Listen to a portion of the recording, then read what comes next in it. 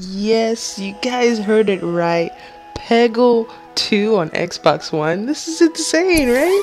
EA, you guys have done yourselves in. I'm just saying, for those of you that don't know what Peggle is, um, I can only explain it like uh, Plinko, I guess. You know, you got all these characters. The game did just come out, so I don't have these unlocked yet. You get them unlocked for, you know, the further you go into the game. But how adorable is this?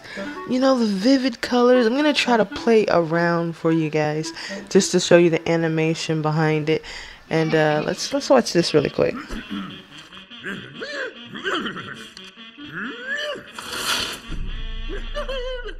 I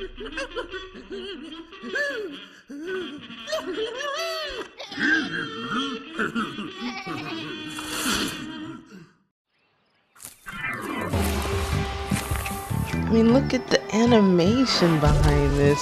The colors, you know, we got this we got this guy dropping in, Jeff dropping in to help us out. So each board that you do, you actually get a character for each uh, set of levels, I guess. And they have some type of special ability to help you clear out the pegs. Um, the objective, honestly, is to clear out all of the red pegs. But the more pegs you clear out, um, the more points you get. And then when you get a green one, you, you get to use their special ability.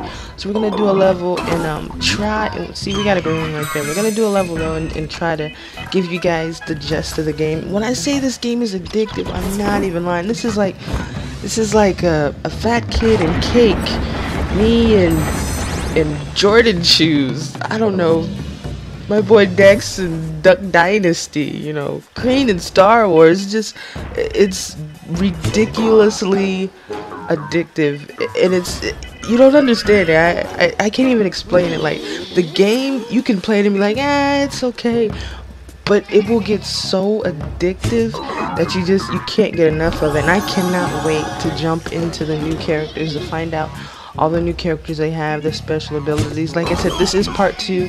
Um, I'm thinking it's exclusive to Xbox One right now. I'm not sure. Um, a lot of people were asking, you know, what the heck is Peggle 2? And uh, look at that. Got the boulder in the bucket. My cup runneth over.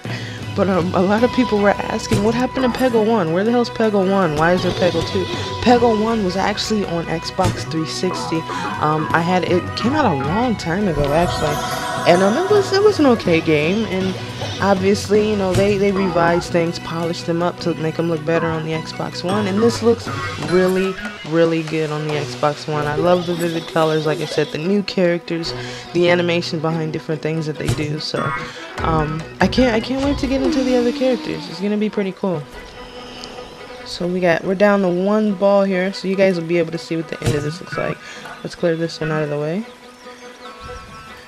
We got this last ball now. Instead of taking it head on, we're gonna try to try to get this last one like a boss in my in my Rick Ross voice. Oh. Huh. See, and you like get it? Nice little ricochet at the end. Fifty thousand dollars extra.